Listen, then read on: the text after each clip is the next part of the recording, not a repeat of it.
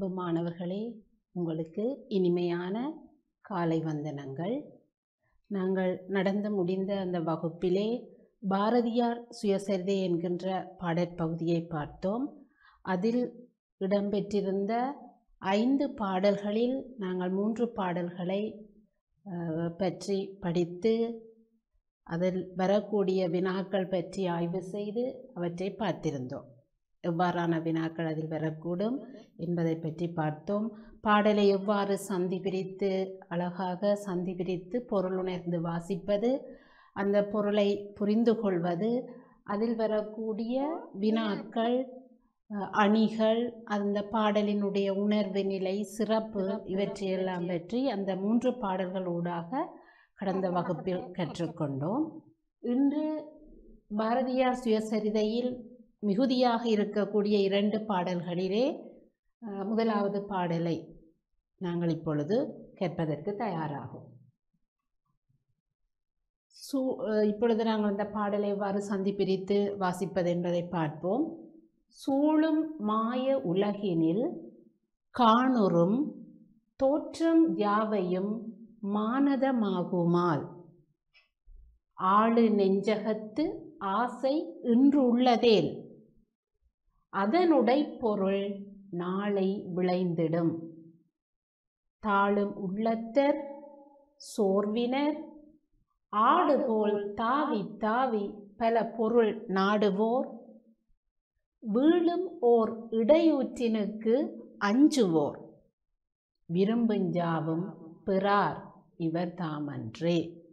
மீண்டும் ஒரு தடவை எவ்வாறு சந்தி குறித்து பாடலை பார்ப்பதென்று பார்த்துக்கொள்வோம் சூழும் மாய உலகினில் காணுறும் தோற்றம் யாவையும்? மானதமாகுமால் ஆளும் நெஞ்சகத்து ஆசை என்று உள்ளதேல் அதனுடை பொருள் நாளை விளைந்திடும். தாழும் உள்ளத்தர் சோர்வினர் ஆடுபோல் தாவி தாவி பல பொருள் நாடுவோர். வீழும் ஓர் இடையூற்றினுக்கு அஞ்சுவோர். விரும்புஞ்சாவும் பிறார் இவர் தாமன்றே. சூழும் மாய உலகினில் காணுறும் தோற்றம் யாவையும்.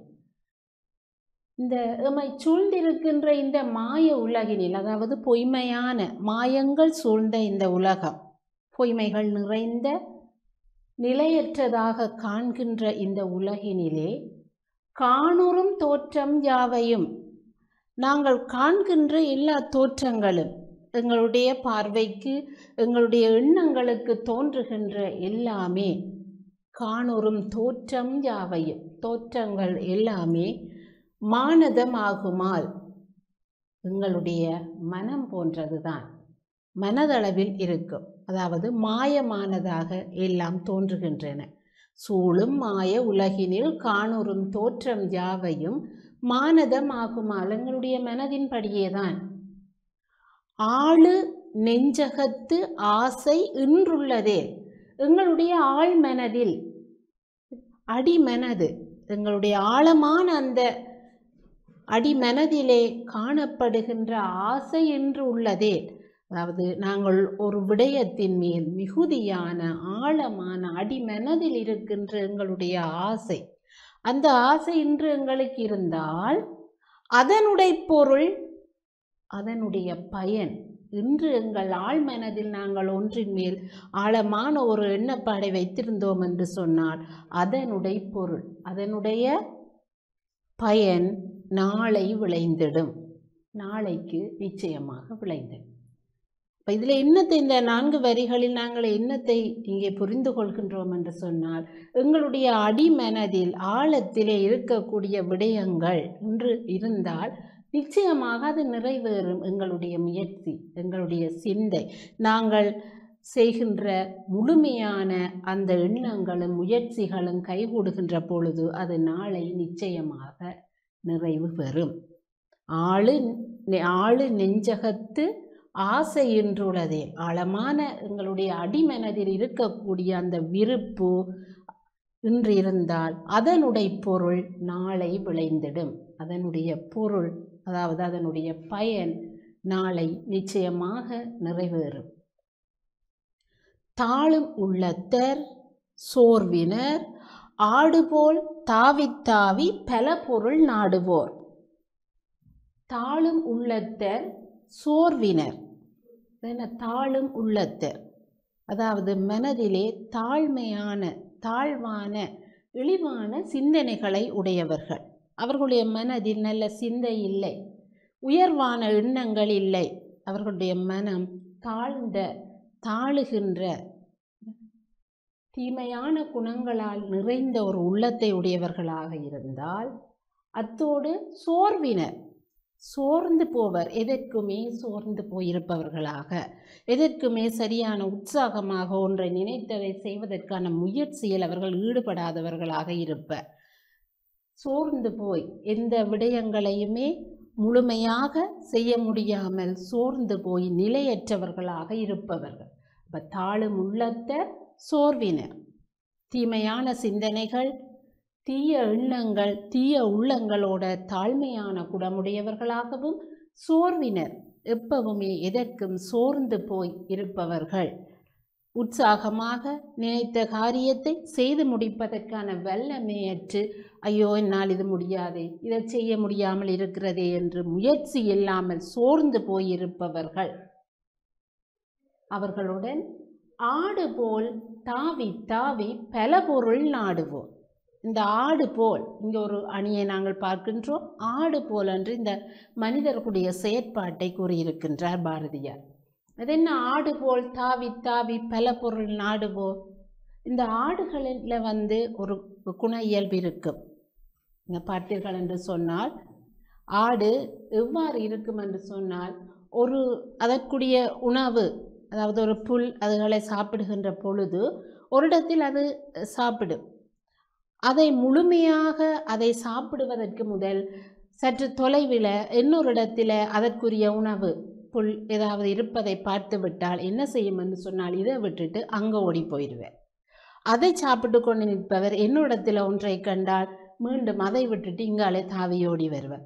இவ்வாறு இதிலுமே முழுமையாக தனக்கு கிடைத்ததை பயன்படுத்தி கொள்ளாமல் எல்லா இடமும் தாவி தாவி பல இடங்கள்லையும் சென்று அதை அந்த உணவை அருந்த பார்ப்பார் இது ஆடுகளினுடைய இயல்பு. அப்போ ஆடு போல் தாவி தாவி பல பொருள் நாடுவோர் அப்போ ஏன் இந்த ஆடு போலன்றதை இங்கே மானுடக்கு பாரதியார் அமைத்திருக்கின்றார் ஆடு போல் என்று இந்த சில மனிதர்களை பாரதியார் உவமித்திருப்பதற்கு காரணம் என்னவென்று சொன்னால் பல பொருள் நாடுவோர் இவர்கள் ஒன்றின் மேல் நிலையான ஈடுபாடு இல்லாமல் எல்லாவற்றிலும் ஆசைப்படுவது. ஏதாவது நினைத்த ஒரு காரியத்தை முழுமையாக அதை நிறைவேற்றி அதற்குரிய பலனை பெறுவதற்கு முன்னர் என்ன செய்வார்கள் என்று சொன்னால் அடுத்ததற்கு சென்று விடுவார்கள். நாங்கள் இன்று ஜதார்த்தத்தில் சிலரை பார்ப்போம் வீடுகளில் கூட.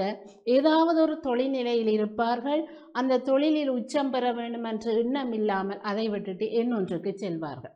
அங்கே இதுவும் வீழ்ச்சி போகின்ற விடயமும் வீழ்ச்சியாக போகும். அதை விட்டுடுச்சு. இதில் எனக்கு சரியான வருமானம் கிடைக்கவில்லை. நல்ல நிலைக்கு என்னால் வர முடியவில்லை என்று அதை அப்படியே விட்டுவிட்டு இன்னொரு இடத்துக்கு போவார்கள். இப்படியே ஆடு போல தாவி தாவி தாவி செல்வார்கள். இப்போ இவர்கள் வந்து தங்களில் நம்பிக்கை இல்லாமல் தங்களுடைய முயற்சி இல்லாமல் என்ன அப்படியே ஒவ்வொரு இடமாக அலைந்து அலைந்து தங்களுடைய முழுமையை இழந்து விடுவார்கள். ஆங்கில பழமொழி ஒன்று சொல்லுவார்கள் கையில் இருக்கின்ற ஒரு பறவை புற்றில் இருக்கின்ற இரண்டு பறவைகளை விட மேலானது. எங்கள்கிட்ட ஒன் ஒரு பறவை இருக்கிறது ஆனால் அங்கே அந்த அந்த இடத்தில் ரெண்டு பறவை இருக்கிறது என்பதற்காக இதை விட்டுட்டு போய் அந்த ரெண்டையும் பிடிக்க போனால் கடைசியாக ஒரு பறவையுமே எங்களோட கையில் சிக்காது. அதே போலத்தான் கையில் இருக்கிறத நாங்கள் நிலையாக வைத்திருக்க வேண்டும். அதுபோலத்தான் இந்த தொழில் நிலையிலையும் பலர் தங்களுடைய தொழிலை விட்டுவிட்டு வேறு வேறு வேறு அப்படியே மா போகிறதால எல்லாவற்றையும் இழந்து விடுவார்கள். இதைத்தான் பாரதியார் இங்கே ஆடு போல் தாவி தாவி பல பொருள் நாடுவார். அப்போ இவர்களுடைய அடி மனதில் ஆழ் மனதில் நிலையாக ஒன்று இல்லாமல் போய்விடுகிறது. அவ்வாறு நிலையாக ஒன்றின் மேல் அவர்கள் விருப்பு வைத்து செயற்பட்டால்தான் இங்கே முதல் பார்த்த அதனுடைய பொருள் நாளை விளைந்திடும். இன்று ஆழ்மனதில் இருக்கின்றதற்காக நாங்கள் முயற்சி செய்து அதன் வழியிலே செல்வோம் என்று சொன்னால் இன்றைய முயற்சிக்குரிய பயனை நாங்கள் நாளை அடைந்து விடலாம். ஆனால் இங்கே ஆடு போல தாவி தாவி பல பொருள் நாடுவோம். ஒவ்வொரு பொருளாக மாறி மாறி செய்ய அவர்களுடைய ஆழ்மனதில் நிலையான ஒரு விருப்பமான செயல் இல்லாமல் போய்விடும். ஆடு போல் தாவி தாவி பல பொருள் நாடுவோர். வீழும் ஓர் இடையூ இடையூற்றினுக்கு அஞ்சுவோர். மற்றதார் இந்த வீழ்கின்ற இடையூறு. எங்களுக்கு வாழ்க்கையில் ஒரு செயலை நாங்கள் செய்கின்ற பொழுது நிறைய தடங்கல்கள் ஏற்படலாம். அது இயல்பு. ஒரு குழந்தை பிறந்தவுடனே எழுந்து நடப்பது அல்ல. அது தவழ்கின்ற பொழுது எத்தனையோ தரம் விழுகிறது. எழுந்து நடக்கின்ற பொழுது எத்தனையோ தரம் அது விழுந்து எழும்புகிறது. நாங்கள் முதன் முதலாக இந்த துவ துவிச்சக்கர வண்டியை கற்று பழகி கொண்ட ஞாபகம் எங்கள் எல்லோருக்கும் ஒரு அனுபவமாக இருக்கும் எத்தனை தடவை அதில் விழுந்து விழுந்து விழுந்து தான் நாங்கள் அதை ஓட்டுவதற்கு கற்றுக்கொண்டிருப்போம். அப்போ எங்களுடைய வாழ்க்கையில் இடம்பெறுகின்ற ஒரு சின்ன விஷயத்தில் கூட எங்களுக்கு எத்தனையோ இடையூறுகள் தடைகள் வரும். ஆனால் அவற்றை எல்லாம் மீறி எங்களுடைய நிலையான ஒரு எண்ணப்பாடு தான் அந்த முயற்சியை எங்களுக்கு கைகூடுவது கைகூடுவதாக செய்கின்றது. அதை கருத்திலே கொள்ளாமல் மீளும் ஓர் இடையூற்றுக்கு அஞ்சுவோர். எங்களுக்கு ஏற்படக்கூடிய சின்ன தடங்கல்கள் இடையூறுகள் இவற்றுக்கெல்லாம் பயப்படுபவர்கள் அதை கண்டு மலைத்து போயிருப்பவர்கள். ஐயோ உங்களால் முடியலே இவ்வளவு தடைகள் வருகின்றதே.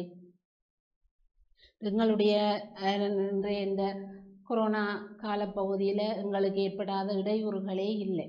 ஆனால் அவற்றையும் மிஞ்சி நாங்கள் எங்களுடைய செயற்பாடுகளை செய்யாமல் விடவில்லை. ஏதோ எப்படியோ நாங்கள் முயற்சி செய்கின்றோம்.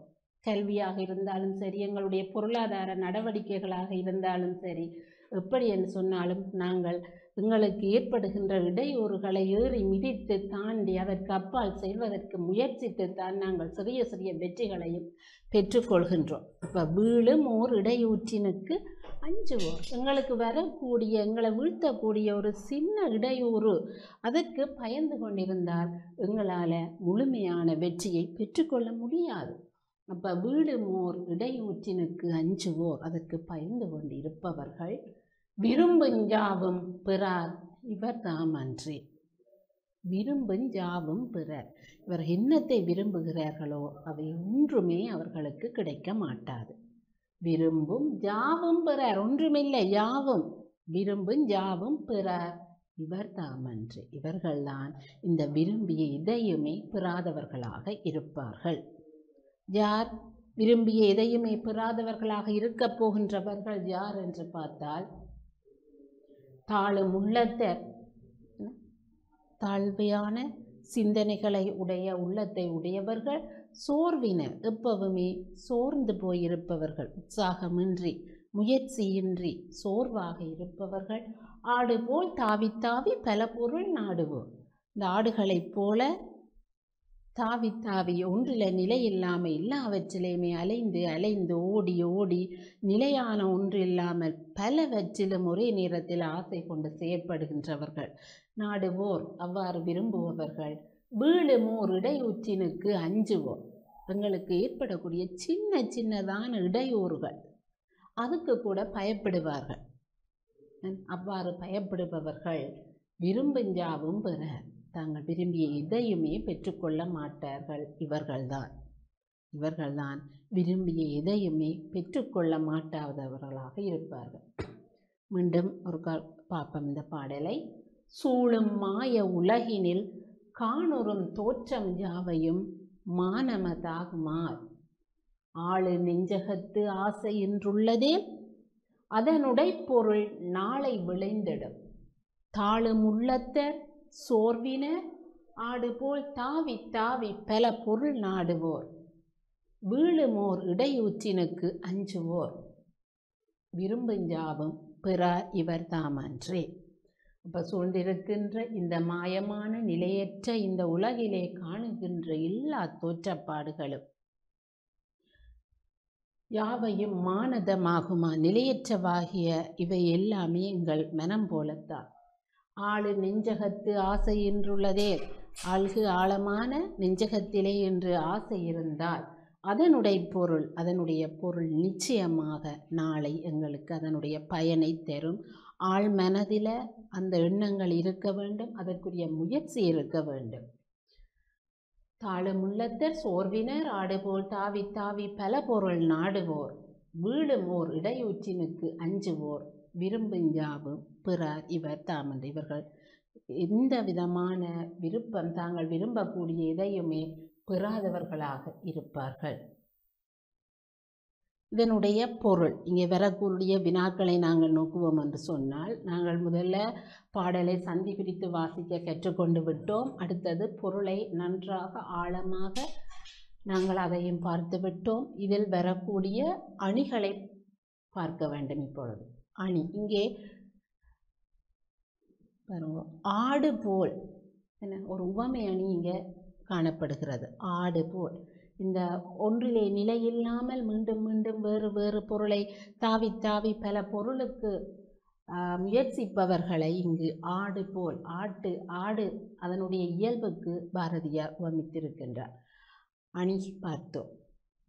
அடுத்தது உணர்வு.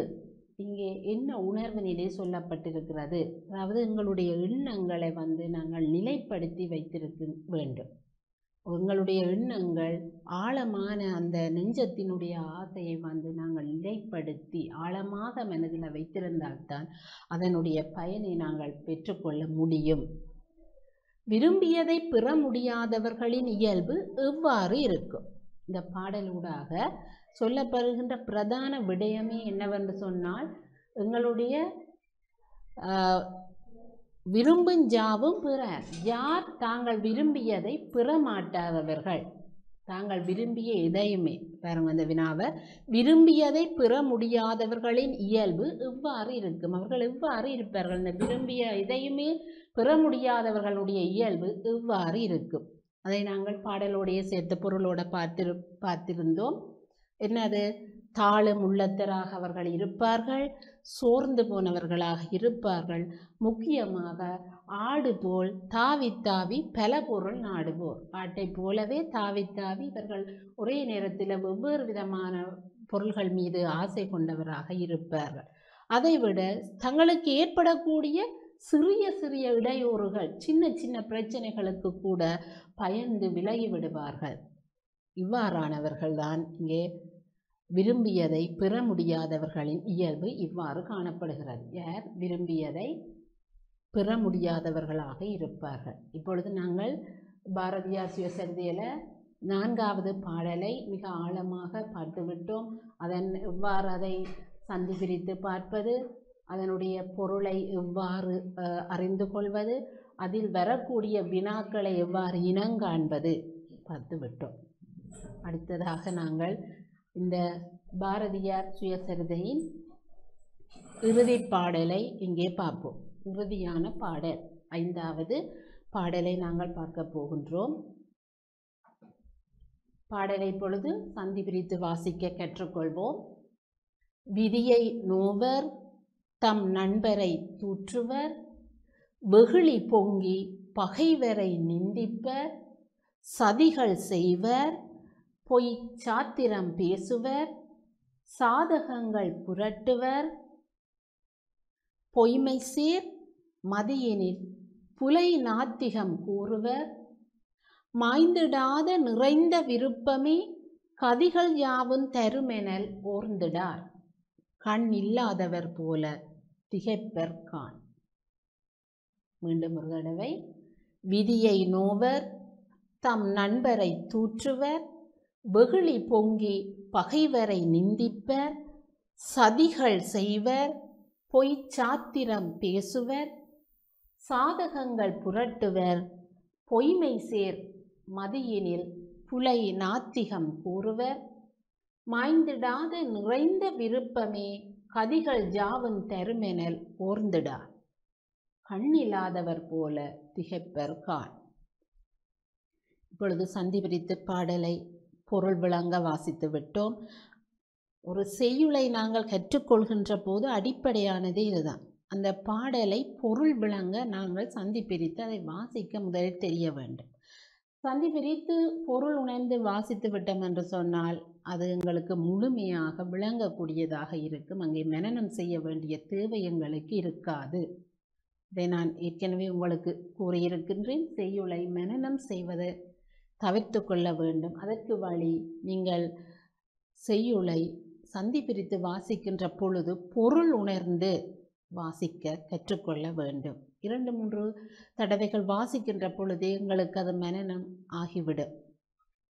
விதியை நோவ இந்த மானிடர்கள் இந்த இதற்கு முதல் பாடலை பார்த்து கொண்டோம். என்ன? வீடும் ஓரிடை ஊற்றினுக்கு அஞ்சுவோர் விரும்பும் ஜாவும் பிறர் என்று விரும்பிய எதையுமே பெற்றுக்கொள்ள முடியாதவர்களுடைய இயல்பு இவ்வாறு இருக்கின்றது. இதன் தொடர்ச்சியாக விதியை நோவர் விதியை நோவர். எல்லாம் எங்கட காலம். இதுதான் எங்களுக்கு நடக்கும். விதியின் மேல் பழியை போட்டு விடுவார்கள். நாங்கள் முயற்சி செய்ய வேண்டும். விதி வலிதென்று சொல்லுவார்கள். ஆனால் விதியை மதியால் வெல்லலாம் என்ற ஒரு கூற்றும் எங்கள் மத்தியில் இருக்கின்றது. அப்போ அதை நாங்கள் உணர்ந்து கொள்ள வேண்டும். விதியை நோவர் எங்களுக்கு நாங்கள் விரும்பியதை அடைய முடியாமல் எங்களுடைய வெற்றியில் நாங்கள் தலை தூக்கி நிமிர்ந்து நிற்க முடியாமல் இருப்பதற்கு காரணமாக நாங்கள் விதியை அதாவது விதியின் மேல் பழி போட்டுக் கொள்கின்றோம். எங்களுடைய முயற்சியை விட்டு நாங்கள் விதியின் மேல் பழியை போட்டுக் கொள்கிறோம். விதியை நோவ எல்லாம் விதியால்தான். என்ற தலை விதி இப்படியாகிவிட்டதே என்று எங்களுடைய முயற்சி இல்லாமல் எப்பொழுதுமே நாங்கள் விதியின் மேல் பழி போட்டுக் கொள்பவர்களாக இருக்கின்றோம். விதியை நோவர் தம் நண்பரை தூற்றுவர். அது மட்டுமல்ல தங்களுடைய நண்பரை கூட ஏசுவார்கள். தன்னுடைய முயற்சி இல்லாமல் தான் தாழ்ந்து போவதற்கு தன்னுடைய நண்பரை எங்களுடைய ஆற்றாமை எங்களுடைய தாழ்வு சிக்கல் அப்போ எங்களுடைய பிரச்சனைக்கு நன்றாக உயர்ந்து செல்கின்ற எங்களுடைய நண்பரை பேசுறது தூற்றுறது அவனை பழிச்சொல்லுக்கு உள்ளாக்குவது நண்பரை தூற்றுவர் காரணம் எங்களுடைய வீழ்ச்சிக்கு எங்களுடைய முயற்சிகள் பலிக்காமைக்கு காரணம் நாங்கள். ஆனால் நாங்கள் என்ன செய்கின்றோம் என்று சொன்னால் எங்களுடைய நண்பர்களை தூற்றுகிறோம். இதற்கெல்லாம் காரணம் என்று சொல்லி. இப்போ நண்பரை தூற்றுவர். வெகுளி பொங்கி பகைவரை நிந்திப்பர் வெகுளி கோபம் பொங்கி. வெகுளியே மிகுந்த கோபம் அது இன்னும் பொங்கி. எங்களால் ஒரு காரியத்தை செய்ய முடியாவிட்டால் எங்களுக்கு கோபம் பெறுகிறது. எங்களுக்கு மிகுந்த கோபம் ஏற்படுகின்றது. நாங்கள் நினைத்ததை செய்ய முடியவில்லை என்றால் உடனே கோபப்படுகிறோம். வெகுளி பொங்கி மிகுந்த கோபம் பொங்குகிறது. கோபம் மிகுதியாக பொங்குகிறது. பொங்கி பகைவரை நிந்திப்ப. நண்பரை மட்டுமல்ல பகைவரையும் சேர்த்து நிந்திப்பர். சரி அவர்களையும் பகைவரை நிந்திப்பர். அவர்களையும் தூற்றுவது கோபம் நிறைந்து இந்த பகைவர் அப்போ நண்பர் பகைவர் என்று பாராமல் எங்களுடைய எங்களுடைய வீழ்ச்சி எங்களுடைய முயற்சியின்மை இவற்றுக்கெல்லாம் நாங்கள் பகைவரை நண்பரை எல்லோரையும் ஏசுகிறோம் தூற்றுகிறோம் தூற்றுவர். சதிகள் செய்வர். இவை மட்டுமல்ல. எங்களுடைய நிலை இவ்வாறு வருகின்ற பொருள் நண்பர்கள் பகைவர்களை தூற்றுவது மட்டுமல்லாமல் நாங்கள் ஒரு தீமையான ஒரு காரியத்தை செய்ய யோசிக்கிறோம் என்ன சதிகள் செய்வர். மற்றவர்களை வீழ்த்துவதற்கான சதி வேலைகளில் கூட நாங்கள் ஈடுபடுகிறோம். அவ்வளவு தீமையான பெரிய காரியங்களை நாங்கள் இந்த சமூகத்திலே செய்து கொண்டிருக்கின்றோம். இந்த சதிகள் செய்கிறோம். அவர்கள் வீழ வேண்டும் என்பதற்காக பல சதி வேலைகளில் நாசகார வேலைகளில் நாங்கள் ஈடுபடுகின்றோம். பொய் சாத்திரம் பேசுவேன். இந்த சாஸ்திரங்களை சாத்திரங்களை பொய்யான சாத்திரங்களை சொல்கிறது சரி இதுக்கு இதுதான் காரணம். இதால் தான் இப்படி நடந்தது. இவன் தான் எனக்கு இவ்வாறு செய்தான்னு சொல்லி பொய் சாத்திரங்கள். சாஸ்திரங்கள் இது பொய் சாத்திரங்கள். பொய்யான சாத்திரங்கள் என்ன தன்னுடைய பிழையை மற மறைப்பதற்காக தன்னுடைய வீழ்ச்சிக்கு காரணம் தான் தான் என்பதை அவன் உணராமல் இவ்வாறு பொய் சாத்திரங்கள் பொய்யான சாத்திரங்களை பேசிக்கொண்டிருப்பார். சாதகங்கள் புரட்டுவர். எங்களுடைய சாதகங்களை என்ன நாங்கள் சொல்லுவோம். சாதகம் பலன்கள். அதை புரட்டி புரட்டி பார்த்து கொண்டிருப்பாங்க. இதில் எப்படி இருக்குதா? இந்த காலம் தான் எனக்கு உயர்வான காலமா? என்னை என்ன பீடித்திருக்கிறது? இதுக்கு என்ன செய்யலாம் என்று தன்னுடைய முயற்சியை விட்டுட்டு இங்கே சாதக பலன்களை பார்க்குறது. சாதகங்களை புரட்டுறது. திருப்ப திருப்ப தேடி தேடி தேடி அதன் ஊடாக தங்களுக்கு நன்மை வருமா என்று சாதகங்கள் புரட்டுவர். பொய்மை சேர் மதியினிற் புலைநாத்திகம் கூறுவர். பொய்மை சேர் மதியினிற் பொய்யான அவனுடைய அவர்களுடைய புத்தி நிலையில புலை நாத்திகம் இந்த பொய்யான கடவுள் இல்லை என்று சொல்லி வாதிடுகின்ற அந்த தன்மைக்கு நாஸ்திகம் பேசுவதற்கு இறங்கி விடுவார்கள். பொய்மை சேர் மதியினிற் புலை நாத்திகம் கூறுவர். பொய்யான புத்தியோடு பொய்யான இந்த நாத்திகம் கடவுள் இல்லை என்று வாதாடுவார்களே எனக்கு நன்மை நடைபெறவில்லை. என்னுடைய முயற்சிகள் எதுவுமே கைகூடவில்லை என்றபடியால் இது கடவுளே இல்லை. கடவுளை நான் நம்ப மாட்டேன். எனக்கு கடவுளால் எந்த விதமான நன்மைகளும் கிடைக்கவில்லை. நான் நினைத்த காரியம் எதுவுமே நடைபெறவில்லை? என்னுடைய வெற்றி எங்கும் எனக்கு கிடைக்கவில்லை என்றதால கடவுள் இல்லை. எனக்கு நன்மை இல்லை என்றபடியால் கடவுளே இல்லை என்று நாஸ்திகம் கூறுவார்கள். மாய்ந்திடாத நிறைந்த விருப்பமே கதிகள் ஜாவும் தருமெனல் ஓர்ந்திடார். இந்த முக்கியமான விஷயம். இதுதான் இங்கே முக்கியமான விஷயம். என்னென்றா இவ்வளத்தையும் சொல்லிக்கொண்டு போய் நம்பிரியே நோவர் நண்பரை தூற்றுவர் வெகுளி பொங்கி பகைவரை நிந்திப்பர் சதிகள் செய்வர் பொய் சாத்திரம் பேசுவர் சாதகங்கள் புரட்டுவர் பொய்மை செய்ய மதியினிற் புலை நாத்திகம் கூறுவர். இவ்வளத்தையும் செய்து கொண்டு போவார்கள்.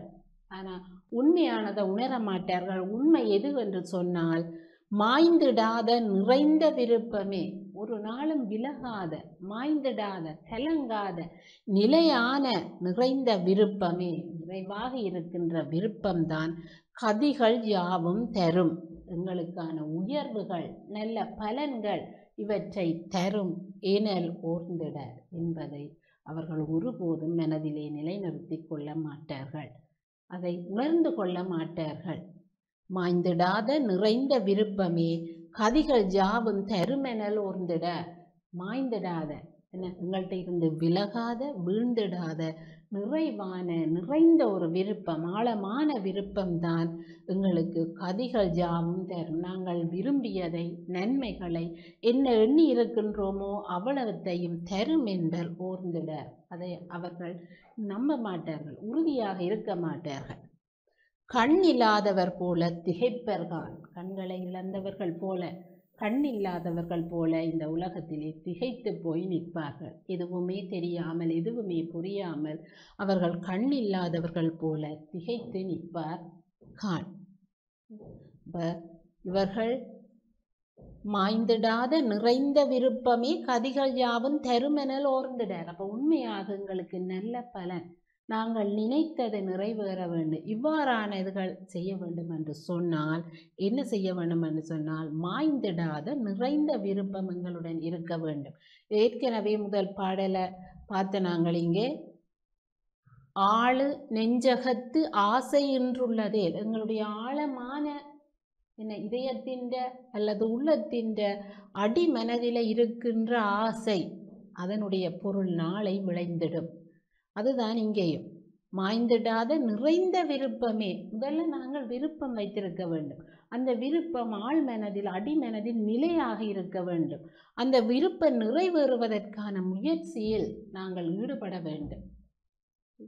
அவ்வாறு இருந்தால் அவைகள்தான் கதிகள் யாவும் தரும். எங்களுக்கான நன்மைகள் எங்களுடைய விருப்பங்கள் நாங்கள் எதை நிறைவேற்ற துடித்திருக்கின்றோமோ அவற்றையெல்லாம் தரும். என்பதை ஊர்ந்திட அதை அவர்கள் நிச்சயமாக உணர்ந்து கொள்ள மாட்டார்கள். கண் இல்லாதவர்கள் போல திகைப்பார்கள் கண்ணே இல்லாதவர்கள் போல திகைத்து நிற்பார்கள். இறுதியாக மீண்டும் ஒரு தடவை இந்த பாடலை பார்த்து கொள்ளுவோம்.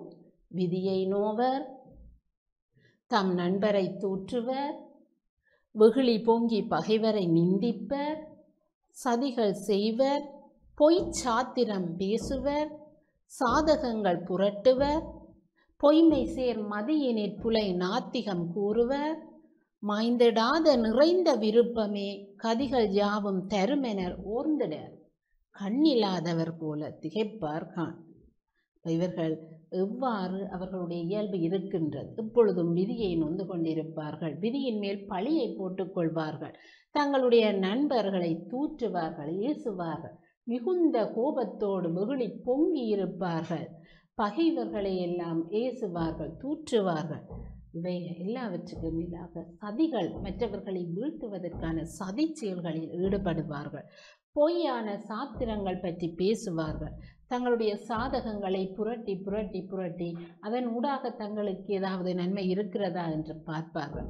பொய்மை சேர் மதியினில் புலை நாத்தியம் கூறுவார்கள். பொய்யான நிலையில்லாத உங்களுடைய பொய்யான இந்த புத்தியினால பொய்யான நாத்தியமான இறைவனே இல்லை என்று வாதிட்டு கொண்டிருப்பார்கள். மாய்ந்திடாத நிறைந்த விருப்பமே கதிகள் யாவும் தரும் என ஓர்ந்திட.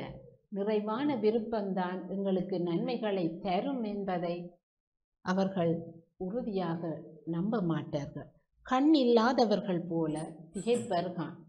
சரி இந்த பாடலை நாங்கள் இப்பொழுது முழுமையாக பார்த்து விட்டோம் இதில் வரக்கூடிய வினாக்கள் பற்றி நாங்கள் சிறிது பார்த்து கொள்ளுவோம் இப்பொழுது.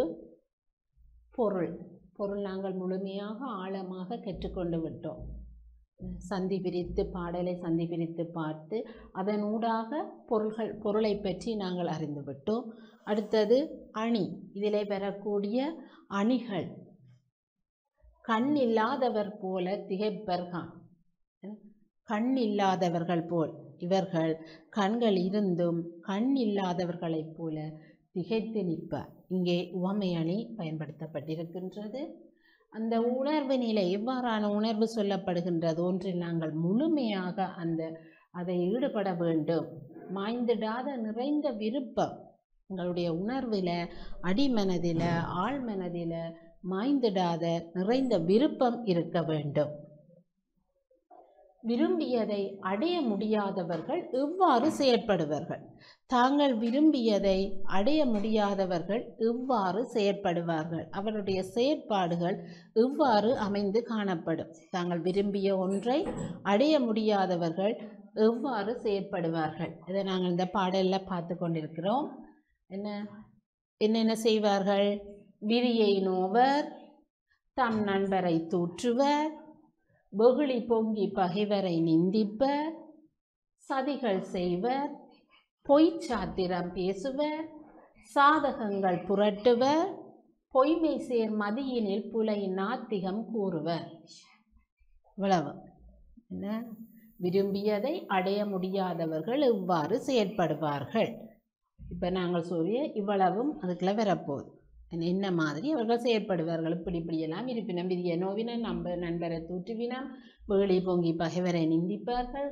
சதிகள் செய்வர் பொய்ச்சாத்திரம் பேசுவர் சாதகங்கள் புரட்டுவர் பொய்மை சேர் மதியினில் புலையினால் திகம் கூறுவர். கடவுளே இல்லை என்று வாதிட்டு விட்டு சென்று விடுவார்கள். இது இவர்களுடைய இயல்பு. எவ்வாறு விரும்பியதை அடைய முடியாதவர்கள் எவ்வாறு செயற்படுவார்கள்.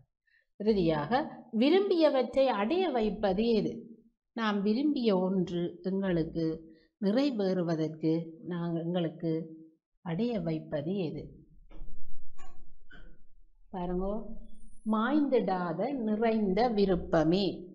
மாய்ந்திடாத நிறைந்த விருப்பமே. ஒரு நாளும் மாய்ந்திடாத விலகி போகாத என நாங்கள் அதில் இருந்து விடுபட முடியாமல் எப்பொழுதும் நிலையாக இருக்கின்ற நிறைவான விருப்பம். அப்போ விரும்பியவற்றை அடைய வைப்பது எதுவென்று சொன்னால்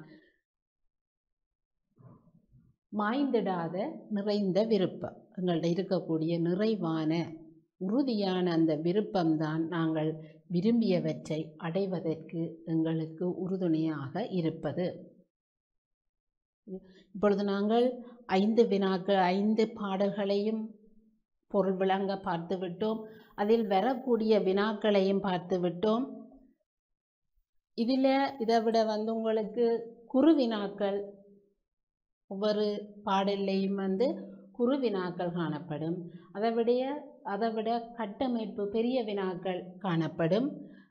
இவற்றை நாங்கள் மேலோட்டமாக இதையும் பார்த்து விடுவோம். பாரதியார் சிறுமி மீது கொண்ட காதல் உணர்வு எவ்வாறு வெளிப்படுத்தப்பட்டிருக்கின்றது. பாரதியார் அந்த சிறுமி மீது கொண்ட காதல் உணர்வு எவ்வாறு வெளிப்படுத்தப்பட்டிருக்கின்றது. இது நாங்கள் கடந்த வகுப்பில் பார்த்து கொண்ட விடயம். அந்த சிறு பெண்ணின் போகின்ற நீரெடுக்க போகைக்குள்ள பாரதியார் எவ்வாறு அந்த பெண்ணை பின்னிருந்து அவளுடைய அழகை அவர் ரசிக்கின்றார் என்பது பற்றி முதல் பாடல்களில் கற்றுக்கொண்டோம். இப்போ பாரதியார் சிறுமி மீது கொண்ட காதல் உணர்வு இங்கே எவ்வாறு வெளிப்படுத்தப்பட்டிருக்கின்றது.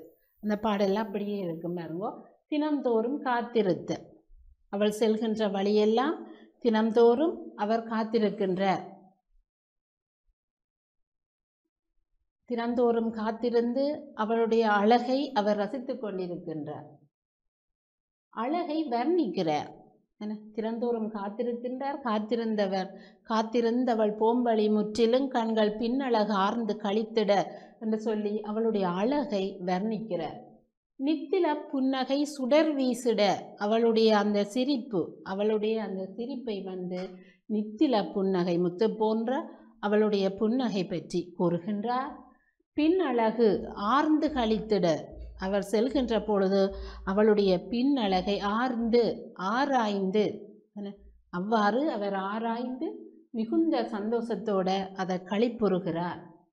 பூத்த ஜோதி வதனம் அவளுடைய முகம் வதனம் அவளுடைய முகத்தை பூத்த ஜோதி வதனம் பிரகாசமாக பூத்திருக்கின்ற அந்த ஜோதி சுடர் போன்ற அவளுடைய முகம் தன் பக்கம் ஒரு க திரும்பினாலே தான் புலனழிந்தொரு புத்துயிரை இதுவேன் பூத்த ஜோதி வதனம் திரும்புவேல். அந்த முகம் ஒரு தன்னை திரும்பி பார்த்தாலே தன்னுடைய ஐம்புலன்களும் இழந்து தான் புதியதாக ஒரு உருப்பெற்று விடுவேன் என்று கூறுகிறார்.